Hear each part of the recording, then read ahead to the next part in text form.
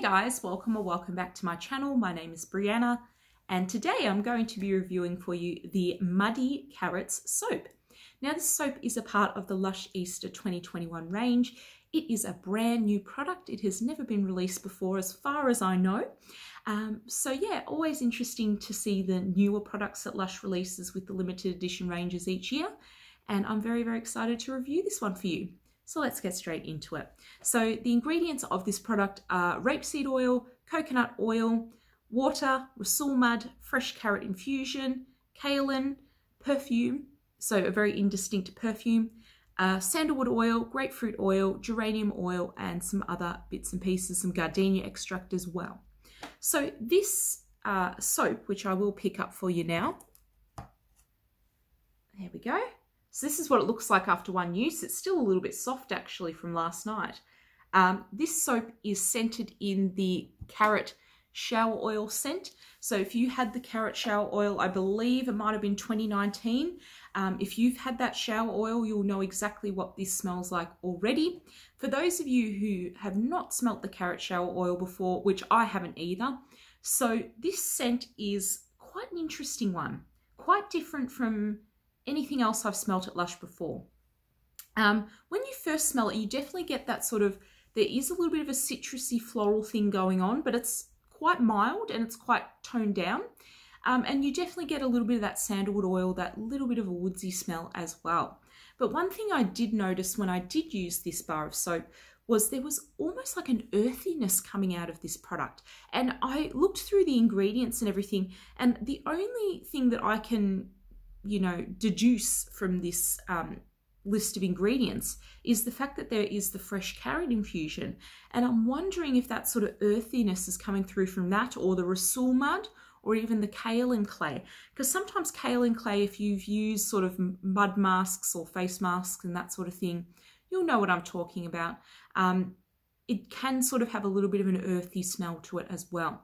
So I definitely noticed yeah, something a little bit earthy about it. And it definitely came out a lot more when I used the product as well.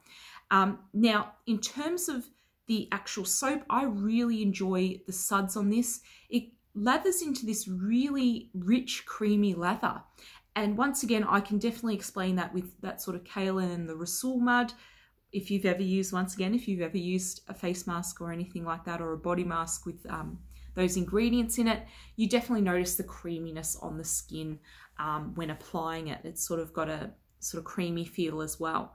Um, so yeah, even though it does dry down eventually, clay masks tend to dry down, but I definitely noticed that sort of element to this product as well.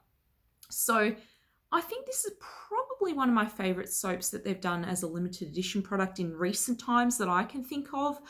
I I just really really like it and I felt very very clean after using this soap.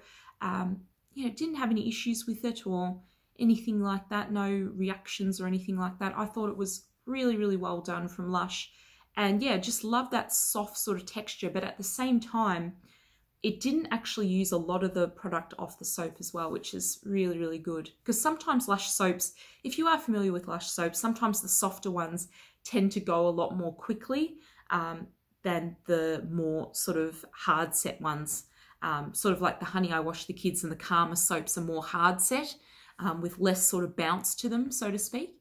Um, so yeah, it was a nice change to have a soap that is a softer texture but doesn't sort of all get run down in the shower, you know, super quickly. So yeah, really enjoyed that part of the product as well. So as you can probably tell, this is definitely a five out of five product for me. I love the uniqueness of the scent.